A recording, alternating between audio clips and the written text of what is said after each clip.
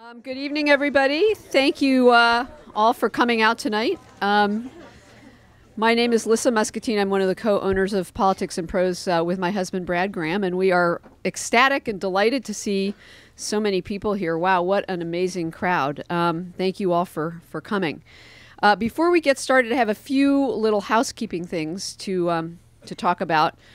Uh, the way this will work is for those of you who are familiar with our events, what will happen is Roz will do her presentation, and then after that, we'll take questions. We have two microphones set up on either side here. If you can get to the microphone, we do record and videotape these events, and it really helps to be able to hear the questions for those purposes. If for some reason you're wedged in the middle and you really truly cannot get up, um, maybe uh, Roz can repeat the question, if that's possible.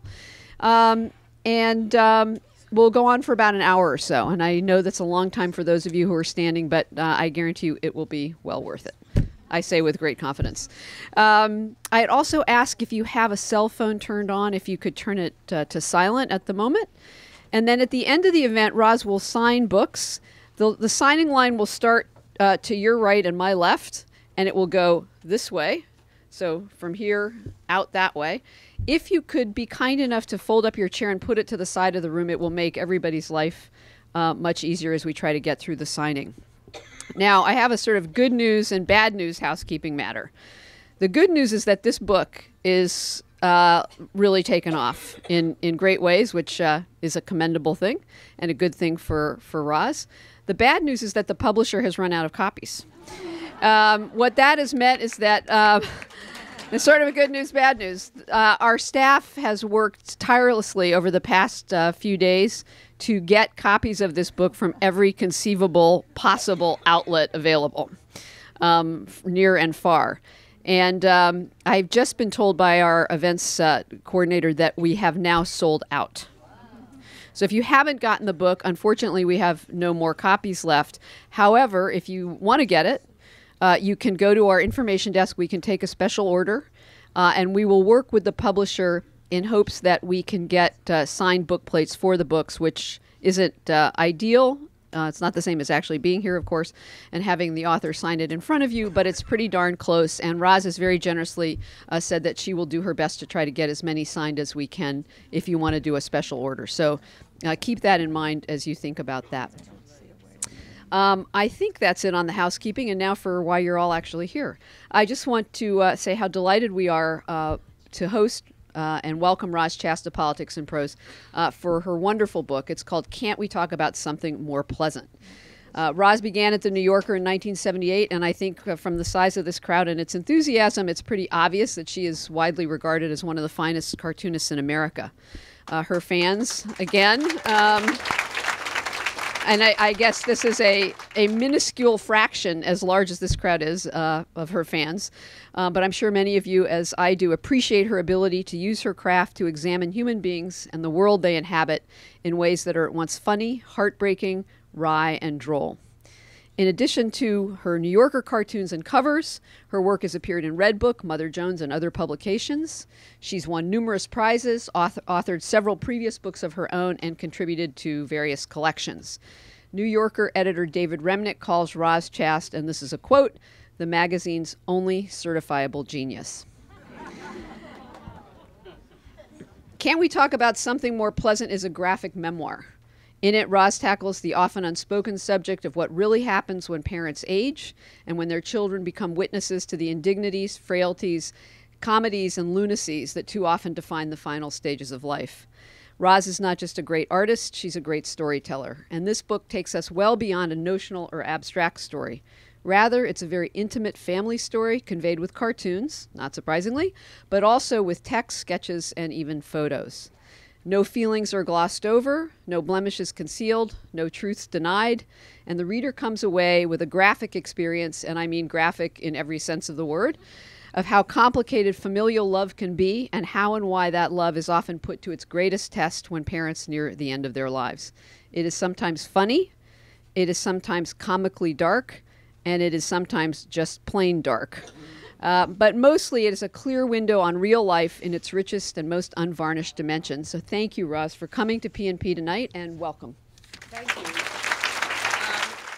Um, um, well, I'd like to uh, is this this working? Okay. I like to start out my slideshow with um, this slide because it'll tell you that's better. It'll tell you a little bit about where I'm coming from. Um, uh, many years ago, I was asked to send a photograph of myself to a magazine um, of me at age nine.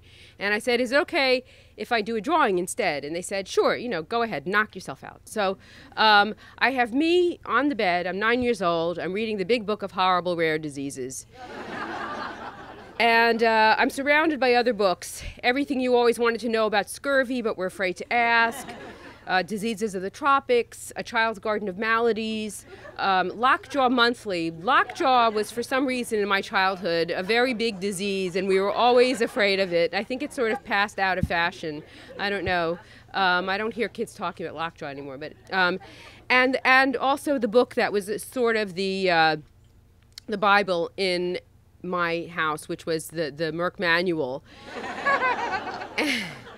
And the reason we had the Merck manual is because my mother's my mother, even though she was an assistant principal, um, her sister was a registered nurse, and so she would give us her outdated copies of the Merck manual, which we always had lying around, which my mother would annotate and put like uh, newspaper articles about this disease or that disease.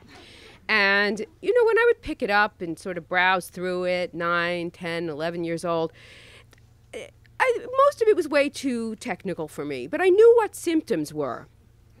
I knew exactly what symptoms were, and I knew that leprosy was very rare in Brooklyn, but rare is not the same as non existent. Um, so, any kind of numbness, tingling in the fingers, you know. Um, anyway, um, I'm going to show a few cartoons just to start before we get into the book. This is Pigeon Little.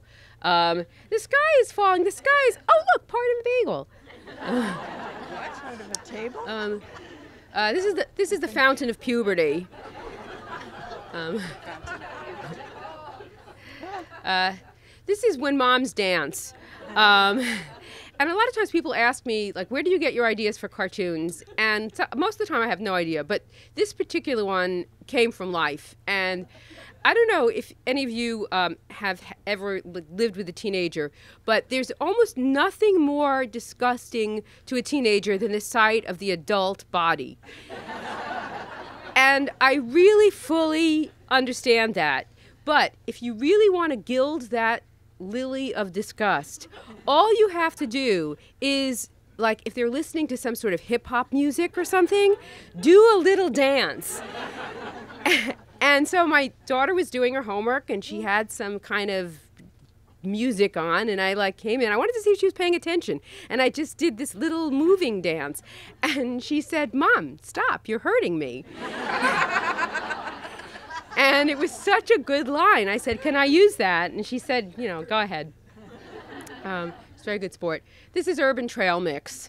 Um, um, um, I'll read it for people who can't read it. It's uh, Tic Tac, Zoloft, Tylenol, Xanax, NoDoz, Valium, Tums, and almonds. Very important protein. Uh, this is a not in the mood for human interaction line here. Um, this is how grandma sees the remote. We have uh, TV explodes, cause nationwide blackout, tidal wave starter, loose sound, loose picture, launch rocket ship, house blows up, ominous smell, drop the big one. Um, and this is a obituary man, I think of him as, and uh, and uh, for people over here that the um, he's reading the obit page, and it's two years younger than you, twelve years older than you, three years your junior. Uh, exactly your age, five years your senior, and your age on the dot, which is like they were born the same month and the same year as you. It's not not good. Um, this is just a, a antiques, collectibles, bric-a-brac, and garbage. Um, and uh, this is a I like um, the guy is a I don't know if you guys can see it at all. It's it's a, a statue gag, and it's a guy who died after a brave battle with everything. Um, and uh, this is uh, the cover of my new book. It's called "Can't We Talk About Something More Pleasant?" And um, it's about the, about the last 10 years of my parents' lives um, and my interactions with them and my doing my best, which was not always so great, to take care of them. this is a picture of. Um, if I move like this, is, can you see any? Well, probably can't. Um, of me and my parents. Um, as you can see, they're a lot older than you. They, you know, they. Some people thought they were my grandparents. Uh, this is sort of goes back to the the Merck manual. This is when I was growing up. My parents, I don't know. I think it was partly their background, and partly that they were old enough to have seen many, many disasters. So they actually knew somebody whose husband was killed by a fl- falling flower pot.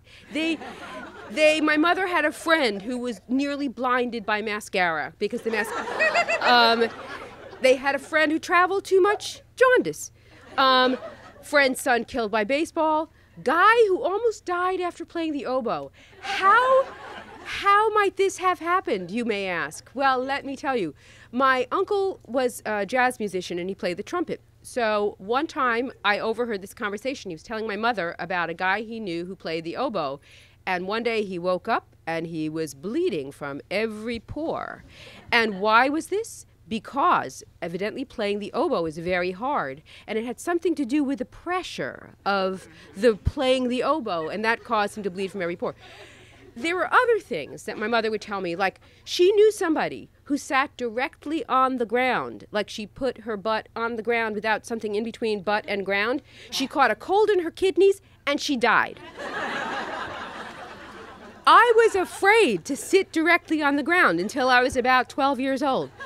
Um, also, swimming without a bathing cap. You might as well just like hang glide off a building because you get water in your ear and that's the end. You you you go deaf.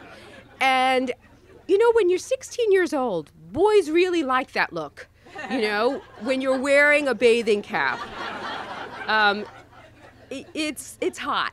Um, laughing during a meal, choking. Um, it, just too tight watch band. One time I found I found a uh, bracelet. Uh uh it was a little tight. It was an elastic thing. Um, gangrene in your hand. Hand drops off. Um, you know, a rash then dead, a headache then dead, a lump then dead. It was just, you know, this was this was my parents' orientation. Um, my parents and I never discussed death. So, do you guys ever think about things? This is me talking to my parents, um, and they're saying, "What what kinds of things?" You know, things plans. I have no idea what you guys want. Let's say something happened, and then my mother is giving the universal sign for like person is nuts, you know? um, uh, am I the only sane person here? You know what? Never mind. Que sera, sera. Later that same day, there's me. I'm going, phew. And there's my father, phew. My mother, phew. It, you know, because I don't want to imply that I was the sane person and my parents were resistant. It was really the three of us did not want to talk about anything. So I would sort of like tentatively dip my toe in like sort of dangerous waters. And as soon as I saw that they were resistant, I pulled that toe right out. Um, I, I, didn't want to. I didn't want to talk about it pretty much any more than they did. Um, I was quite aware that my parents had had tough lives, way, way tougher than mine. You don't know what trouble is. I had heard the stories my whole life about how their parents had come over from Russia at the turn of the century with nothing, about how my maternal grandfather had been an engineer in Russia, but how between his inability to speak English and his being Jewish, he wound up barely being able to support five kids and his wife, working as a presser in the garment district, and how bitter and angry he was, and how my grandmother washed clothes for other people, and how even sadder my father's family was. His mother was one of nine children. Not only was she the only girl, but she was also the only one of her siblings to survive the Russian cholera epidemic. Which I thought this was an exaggeration on my mother's part because she did sometimes exaggerate. But I actually looked up Russian cholera epidemic and there was one at that time. Who knew? Wikipedia said so. Um, then in a forest, her father had his throat cut from ear to ear by bandits. My mother told me this. I don't know what happened to her mother, but she came to New York, married my paternal grandfather, and had just one child, my father, by cesarean section in 1912. A horrible ordeal that involved, according to my mother, opening her up from her neck to her you know what. Between their one bad thing after another lives and the Depression, World War II, and the Holocaust, in which they both lost family, it was amazing that they weren't crazier than they were. Who could blame them for not wanting to talk about death? And there's my father saying, let's discuss a more pleasant subject, which is where the title of this book comes from. It comes from my father. My parents referred to each other without any irony as soulmates. It's my mother saying, The rocks in his head match the holes in mine. they were born 11 days apart, and they grew up two blocks apart in East Harlem, New York City. Tenements. We had nothing. They were in the same fifth grade class. He was the fat boy in the back of the room. Yep. They never dated, much less anything else, anybody besides each other. We were too poor. Plus, we lived with our parents until we were married. Aside from World War II, work, illness, and going to the bathroom, they did everything together. I'm going to Waldbaum's. Hold on, I'm coming too. My mother even washed my father's hair for him. It's not as if they never fought, because they did. Don't sit sideways, you're twisting your kishkas. but the. But the concept of looking for something better or being happy, that was for modern people or movie stars, i.e., degenerates. They were a tight little unit. Codependent? Of course we're codependent. Thank God. Maybe they believed that if they just held on to each other really, really tightly for eternity, nothing would ever change. And at a certain point, I, well, for many years, I ignored going out to Brooklyn. I had moved from Brooklyn to Connecticut. I had two small children. I had a husband, I had a house, I had a job, and my kids were busy. You know what little kids are like. They've got to go here, they've got to go there. And it was just too hard to load everybody up into the car and go to Brooklyn. And I don't drive to New York. Um, I this is like this. You might as well ask me like, Roz, why don't you just fly that rocket ship to the moon? It's like not gonna happen. I did it once, and that was never again. And um, uh, anyway, I mean, I didn't learn to drive till I was 38. Whole other story. Um, but so it just seemed impossible. And for the 11 years, for 11 years, from um, uh, like 19, I, I can't, I can't do the math. For about 11 years, uh, 1990, when we moved up to Connecticut, to 2001, I did not go into Brooklyn. If my parents wanted to come up and see the children and see us, they made the trip. Um, and then it was very easy to remember the date that this happened. Uh, September 9th, 2001. I have no idea why, but I had this intense urge to see my parents in their native habitat. I thought it was time. I suddenly, it was like suddenly, like this voice in my head said, you know, your parents are kind of old. And uh, so I visited them for the first time in years at their apartment in Brooklyn where I grew up. What I first noticed was the level of grime. What is grime? It's not ordinary dust or a greasy stovetop that hasn't been cleaned in a week or two.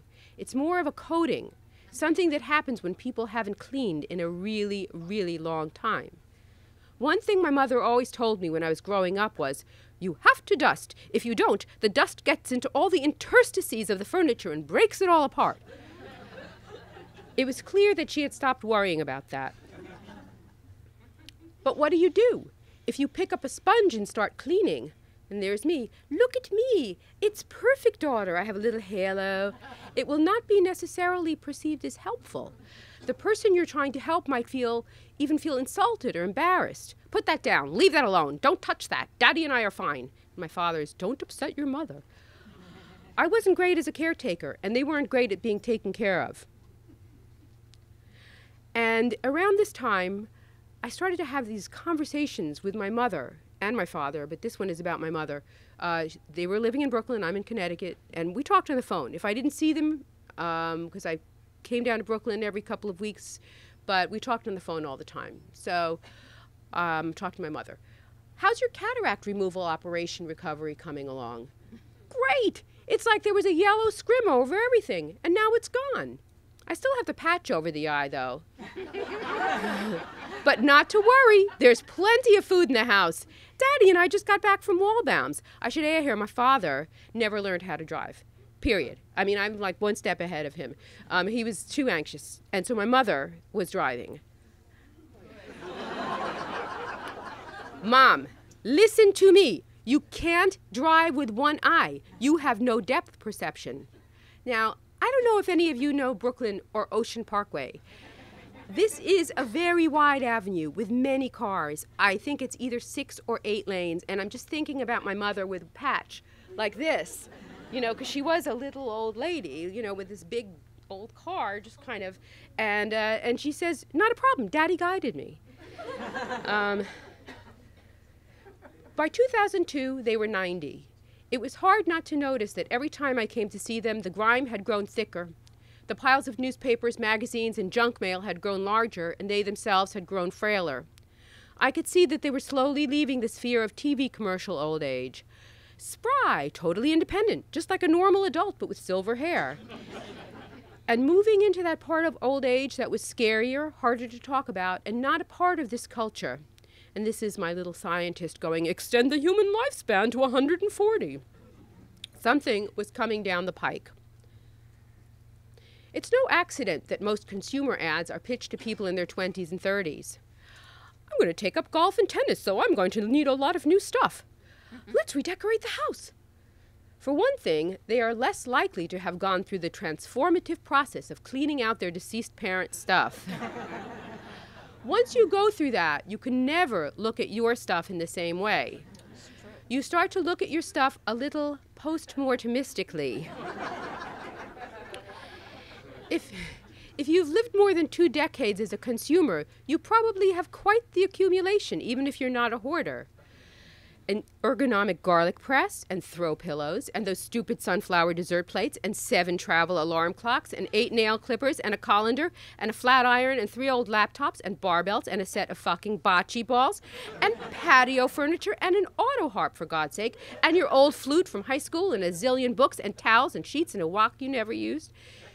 Um, and this is a conversation I had with my mother. Now, my parents, as I said before, they grew up very, very poor. They were born in eight, 1912. I it? 1812. 1912, um, and they also they graduated from college into the depression. So there were all of these factors, you know, the, of waste not, want not. That was, you know, one of the mottos they lived by.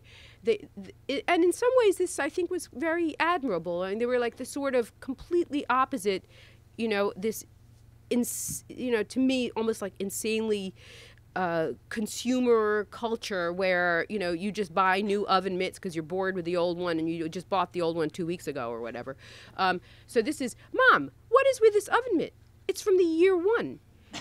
It's disgusting. It's all burnt and cruddy and it's got patches on it. oh my God, these patches come from a skirt I made 40 years ago in home ec. Please let me buy you an oven, a new oven mitt. And she says, why waste your money? That one still works. I mean, this is. The, she patched oven mitts. It's amazing. Anyway, um, so I I had to clean out when my parents moved to assisted living. I uh, had the job of cleaning out their apartment, and um, I took some things. You know, I took photo albums and things like that, and it was very strange. The whole thing was extremely surreal. I felt very weird going through their stuff, very deeply, deeply weird. Um, and I took photographs because I think, in a lot of ways, I, I think one of the reasons why I write and I draw and I, and well, with these photographs is that I have such a horror of the way you just forget things. And for me, this is a way of remembering. Um, and these are uh, some photos from that are in the book. Um, my mother's glasses, the Museum of Schick Shavers, a stapler from probably pre-Revolutionary War. Um, uh, the, inexplicable things like a, jar, a drawer of jar lids. You know, I don't know. I don't know why. Um, they were interesting installation art, I guess. I don't know. Um, I tried to get them to accept even a little bit of help from the outside. We don't need any help. They didn't want any strangers in the apartment. My mother insisted that no grocery store in Brooklyn delivered. And uh, occasionally one of their neighbors helped out. I'm going to the store. Can I pick up anything for you? But the grime and disorder were worse than ever, way beyond anything a mere tidying up could fix. And this is me. I'm looking at what I found in the closet, which was like, I don't even know what. It was an ancient box of sanitary napkins. dust covered. It must have been there since the 1960s or something. Uh, and, and it was only getting worse. A friend of mine said, You have found the source of the river Ebay.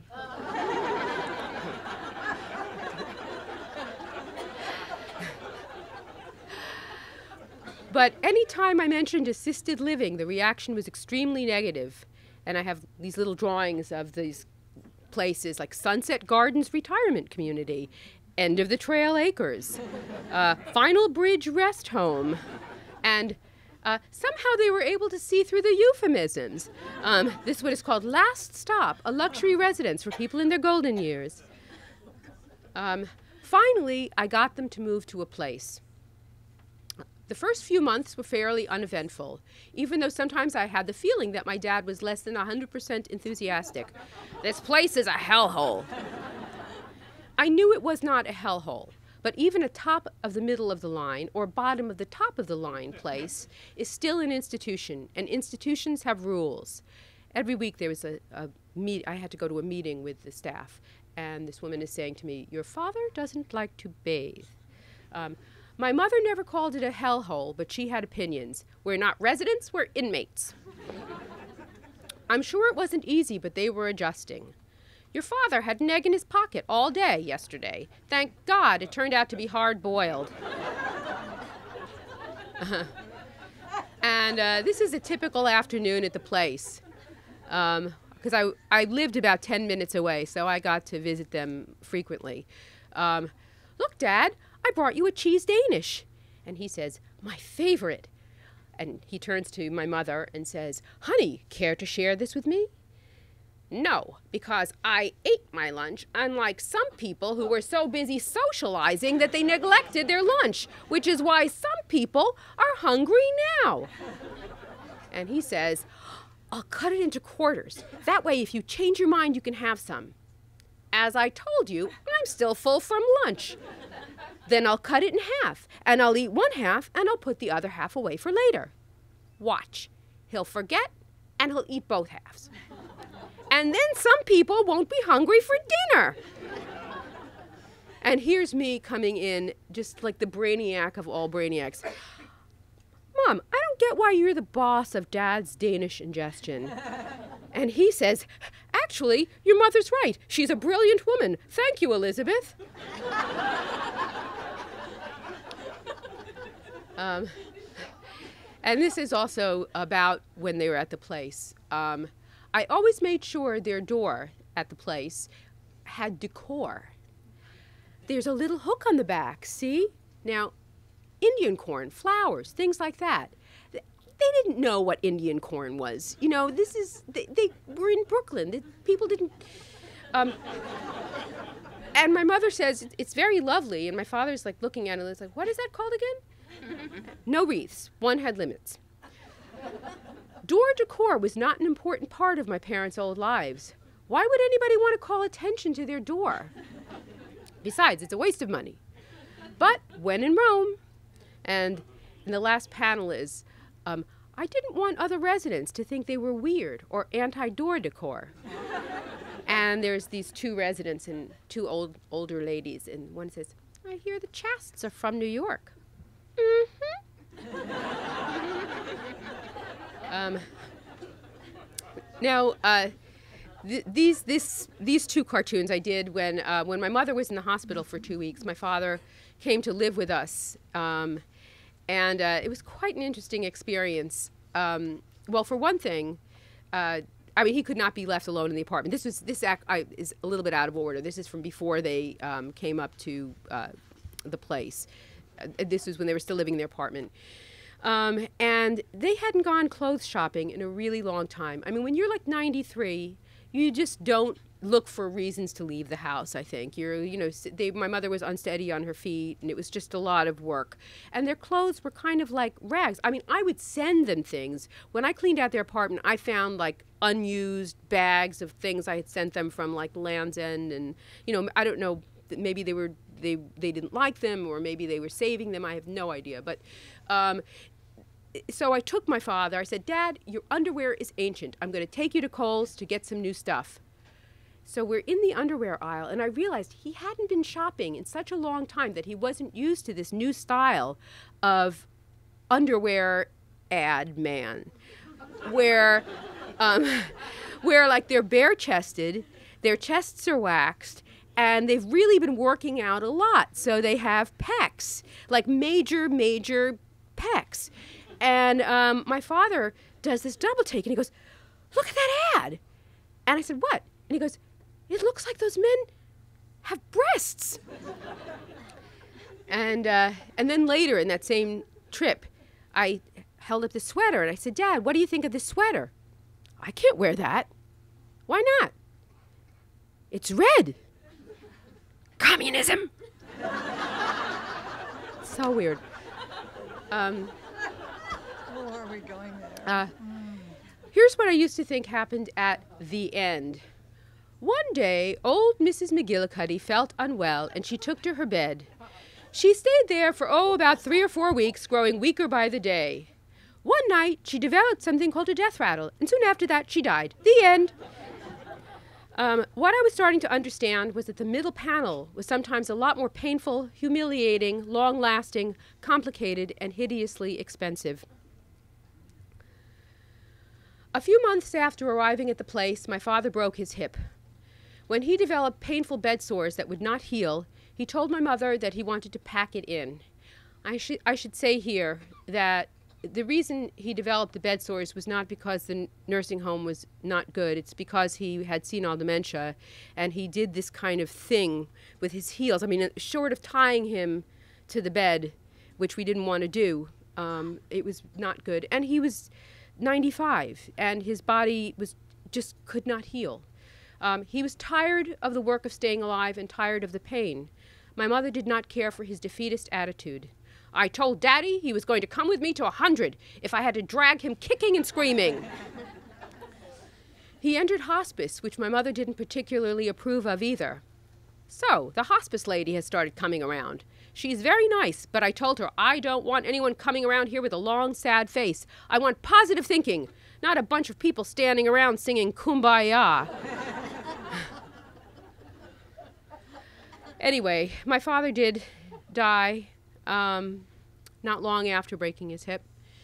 Um, and my mother lived another two years with many, many ups and downs, um, which I write more about in the book. But um, towards the end of her life, she started, it was very strange. She had some dementia, but it wasn't consistent. It was very confusing because she'd be, you know, we'd be talking about something in the news. She'd ask me, you know, very specific questions about my kids, what they were doing. You know, my daughter was taking banjo lessons, and she seemed to be quite with it. And then she would suddenly like launch into a story, um, like like this one. And I I started keeping track of them. I started writing them down, uh, not knowing what I would do with them, but they were so strange. And th- this is what I do. I mean, I write things down. So this one is called Dead Dad. I mean, this is like in the middle of like a normal conversation. She suddenly say, "Your father died before you were born, when I was pregnant with you. My father, Harry, said he would buy me a house and he would live with us and babysit you while I was at work." And I said, "Mom, that's not true." "Yes, it is, and I should know." Um, this one is called Ass Full of Buckshot. There was a break in at the place. All the men were moved over to the women's side. I shot the intruder with my BB gun. I gave him an ass full of buckshot. I'd like to stand him on a stage, pull down his pants, and take out the pellets one by one in front of everybody. And uh, this one is Unusual Adoption. Did I ever tell you about how the Miltons got Paula? Now, I had heard about the Miltons get, getting Paula and uh, uh, different names, but this was not what I had heard. Uh, they went out shopping, and when they got back to their car, there was a grocery bag leaning against the wheel, and inside the bag was a baby. Um, I was on a launch, and a woman who was naked down to her pupik got stabbed in the heart by a flying swordfish. A terrible way to die. Maybe you dreamed it. Nope, I was right there. and and this one, uh, some of her stories involved real estate in Manhattan. and they were kind of great in a way. I kind of got why she had these I don't know what they were. What, you know, living dreams, waking dreams, I don't know. But she knew that in some part of me that I, you know, dreamed about having, you know, a little apartment in Manhattan someday moving back there or whatever. So, the story is the Board of Education gave me an apartment in their building. And I'm like, "Oh, where is that?" Um, 550 Park Avenue. oh, it's as big as a ballroom, the entire first floor. It could hold a 100 people. To have an apartment in that building, you have to be a person of authority. When my brother Aaron visits, Aaron had predeceased her by a couple of years, he can stay there. It has lots of windows and a private bathroom. um, of all the stories, I like this one the best. When you were around four, Daddy and I took you to see Uncle Tom's Cabin at Brooklyn College. When Simon Legree was whipping old Uncle Tom, you jumped out of your seat and ran to the stage and yelled at him to stop hurting Uncle Tom. You said, You're a bad, bad man. And then you took away his whip. you almost ruined the play. um,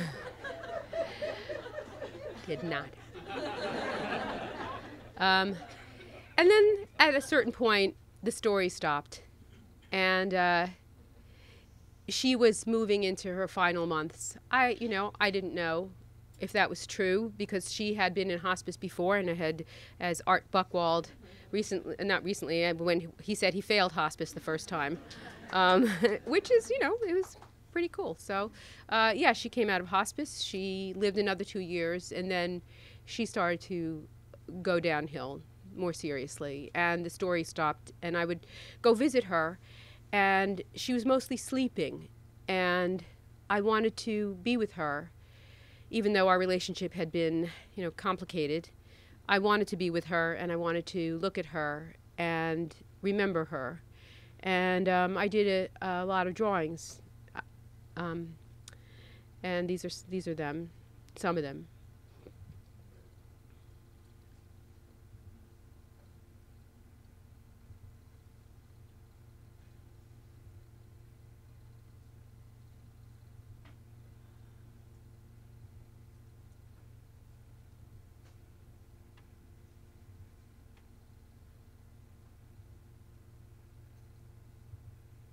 And this is the last one um, I did after she passed away. Um, the aide called me, and I got there a few minutes after she died. Um, and then, you know, all this official business happens, and, you know, they have to go and they have to get this person and that person and call this person and that person. And they left me with her, and um, I, I do what I do. I mean, I, I, I draw, so I drew her. Anyway, I wish that at the end of life, when things were truly done, there was something to look forward to, something more pleasure oriented, perhaps opium or heroin. so you became addicted. So what? All you can eat ice cream parlors for the extremely aged, big art picture books and music, extreme palliative care for when you've had it with everything else. The x rays, the MRIs, the boring food, and the pills that don't do anything at all. Would that be so bad? Um, and uh, now I'm going to go back to cartoons because it's fun. Um, and uh, this is you. Oh, I saw. Um, um, this is uh, Dowsing for Coffee. Um, it's very silly. This is the Nancy Drew Mysteries, the later years. Um, Nancy Drew and the Missing House Keys. I know, I left them right there. Um, Nancy Drew and the Mystery of the Eight Pounds. How did I gain eight pounds? I eat nothing. And Nancy Drew and the Secret of the Computer. You and I are going to be great friends. Um, uh, this is the Velcros at home. It's just like. Uh, uh, this is Donna Karan's nightmare. Um, um, ah, well.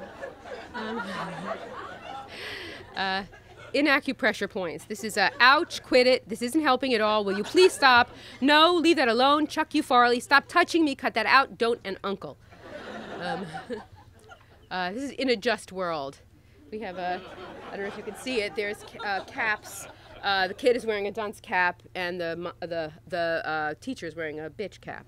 So, um, uh, this is the delusional world of the free-range chicken. This is the life, isn't it? You said it, sister. I'm gonna explore that big wide world out there. Ain't no stopping us now. Um, it's the Holy Trinity. Um, um, this is uh, uh, um, this is uh, the vain but realistic queen. Mirror, mirror on the wall, who, if she lost 10 pounds and had her eyes and her neck done and had the right haircut, could, in her age group, be the fairest one of all? Um, uh, this is. Uh, I love those end of the world guys. I just love them. Um, and uh, this is uh, tuned in, turned on, dropped out, dropped in, worked out, saved up, dropped dead. and that is the end. And.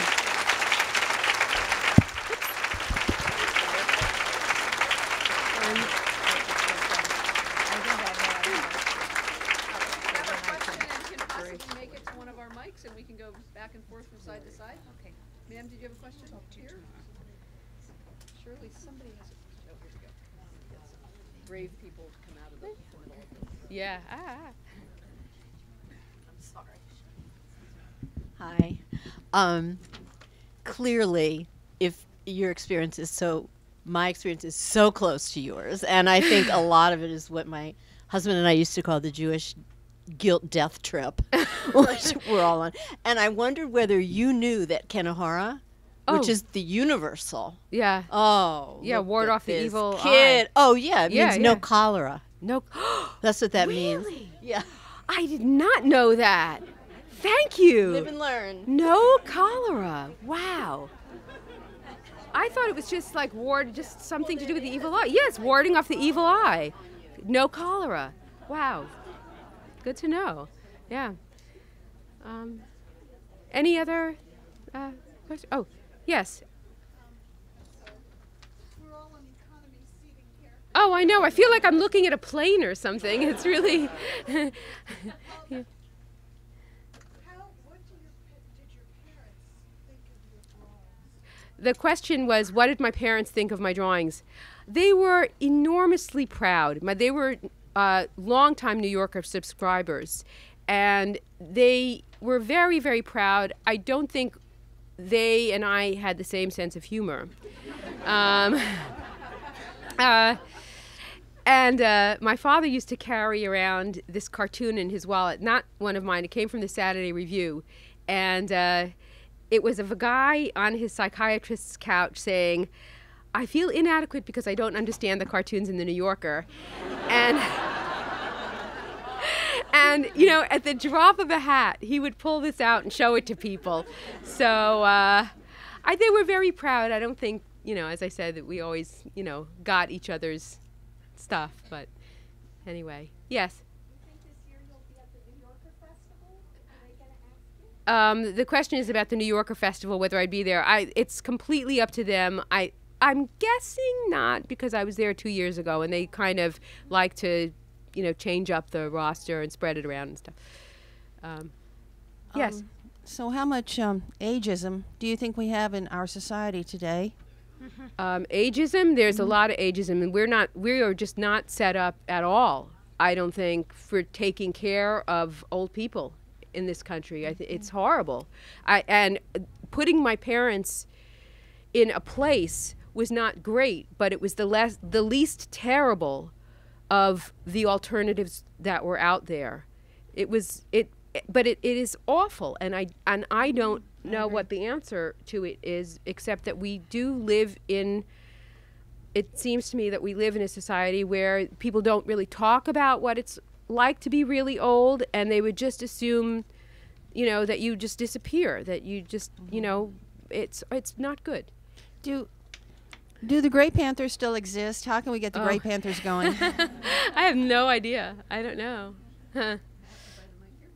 oh yes What do your children think of your cartoons? Ah, they they actually like them. They're they're funny. They're they're funny people. Um, and uh, yeah, we we send each other, you know, funny things, you know, links. My we send each other things from the Onion or, um, you know, odd cartoons or whatever.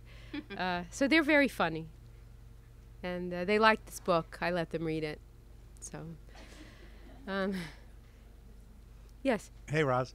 Um, Roz, my name's Matt Mendelson. For I've been sending you Oh, a holiday yeah. a holiday card for I like 20 you, years now. Like through the mail. and you know, it's really funny. My wife doesn't get it. She's like, "Why do you send Roz Chast a holiday card? She's They're not so part of our family." They're family." beautiful. And- They're beautiful. You're and a I- then- photographer, right? yeah, Yeah, yeah, yeah. I know. My brother writes for the New Yorker. Yes, Um, yes. and I couldn't, I could never tell her why I send you a holiday card, and I don't know. And then I was talking to my seatmate over here before, and um, I said, "Oh, you look like you could be Roz's sister," and she said, "Well, we do have the same mother." And for a split second, Oh. for a split second, I thought she was serious, and then she, I realized what she was saying, and that's the experience. I remember the very first cartoon that I was. Um, it was mid 80s and it was the anxious gourmet and it, Oh. it was recipes for the, the anxious gourmet Yeah. and the first step was get or pay somebody to light the oven for you Yes. and i th- Yes. i thought how does this woman have my mother i just didn't understand it and so for all these years you have been such a big part of our family i mean you oh, oh have my the trinity there and oh, we have our own. thank you. I, I love getting your cards. Oh, I'm they're, so they're glad, I'm so, so glad. great. They're so great. you know, next it's to to Mookie you. Wilson and Tom Seaver, you are the third part of the Mendelssohn Trinity, and I just wanted to say we love you, we love oh you, we my love God. Ooh. well, thanks. Thank you. It's great to meet you. Uh, yes. Oh, wait. Oh, where? Oh, I don't know. Sorry. Um, okay. Oh, sorry. Yeah, uh, here. Okay. Sorry. I'm wondering, because just in my own experience of reading these graphic novels, they tend to be memoirs rather than novels of fiction. And a lot of them by women. I wonder if you want, it might be just me, but it seems to me they were very often memoirs rather than novels. Y- y- yeah, we're talking. Memoirs are by women, Well, when they're British, you know. Yeah, mm-hmm. well, we were talking about the the I I don't the mem- graphic memoir things that are not really graphic novels. I mean, this is not a graphic novel; it's a graphic graphic memoir. And then about what what was the que- question? When I, when I pick up, well, okay, graphic books, when I pick Yeah. up one of these graphic books, they tend, they always seem very often to me to be memoirs rather than novels. And do they, does the, does the graphic book lend itself to being a memoir rather than a novel? Um, the question was wh- whether the graphic format lends itself to being a memoir rather than a novel. I, I don't think so. I mean, you think about like those. Uh, I mean, there's all those like fantasy graphic novels and stuff, and there's so many different. I feel like it just lends itself to whatever the author wants to do. The what? There are shelves of them. Shell, yeah, yeah. There's tons. There's a million anything. Uh, Do you want to choose the? pe- Well, no, I, I okay, you can. might be s- okay, you might. Well, why don't we go Okay, to there? okay. To there. Anybody okay, else? you you you pick. 'cause There, I'm getting there. anxious. I'm getting very anxious about a lot of this. responsibility. Okay. Okay, we'll go to this lady who has had her Oh, hand okay, on, yes. on the left. on the Okay. left far Oh, here. She's Okay, good. hand- Yes, and good, good. That, Okay. That Sorry. there. and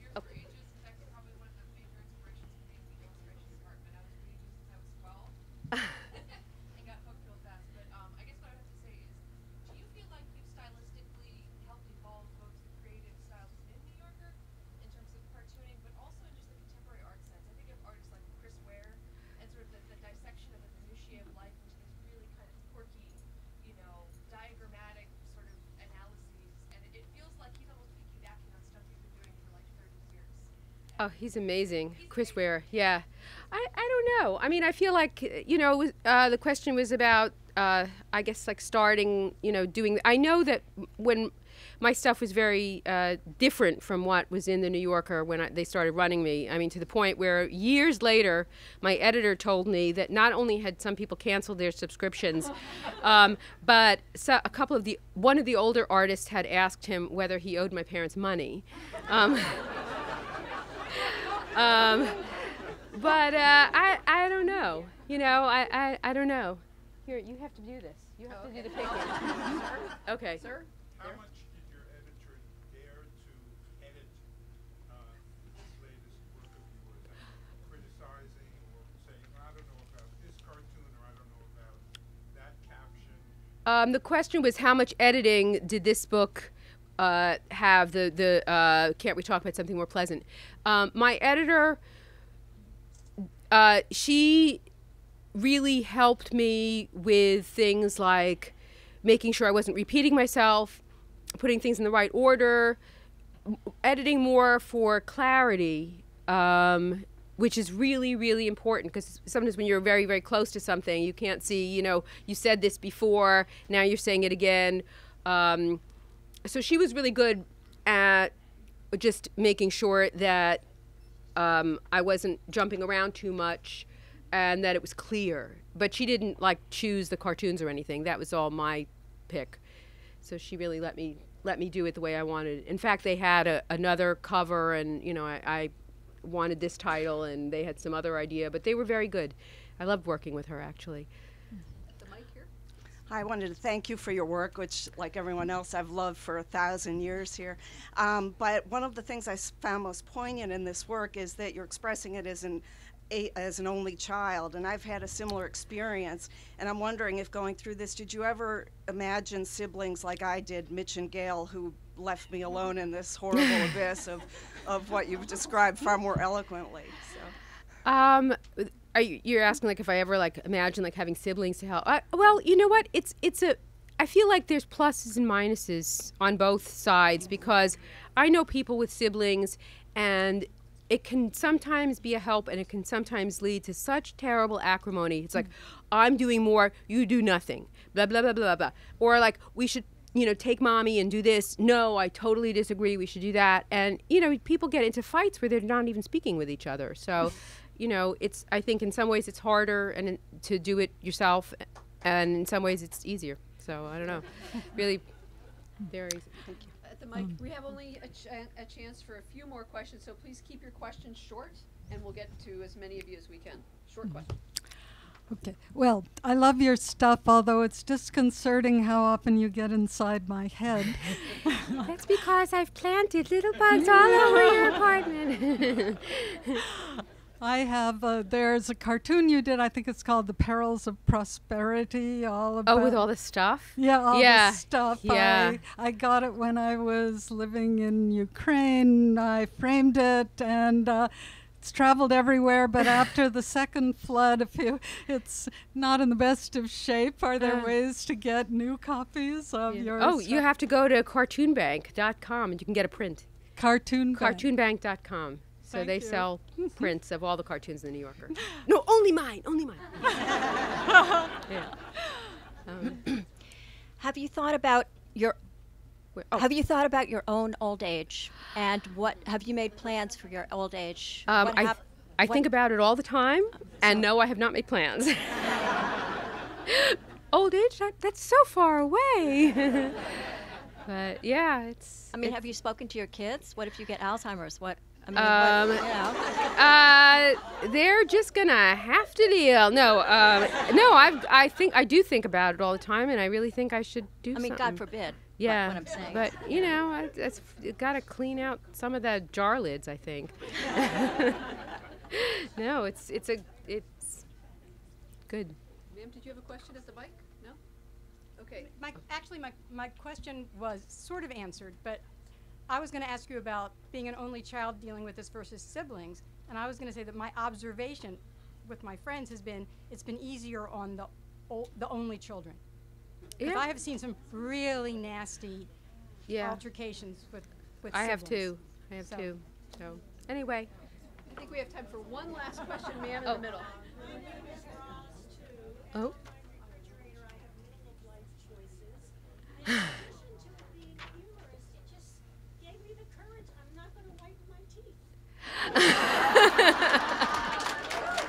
Yes, yes. It's the corporate America tells you you have to have like white teeth. It's weird. anyway, um, are we done? Yeah. thank, thank you. you. Thank you.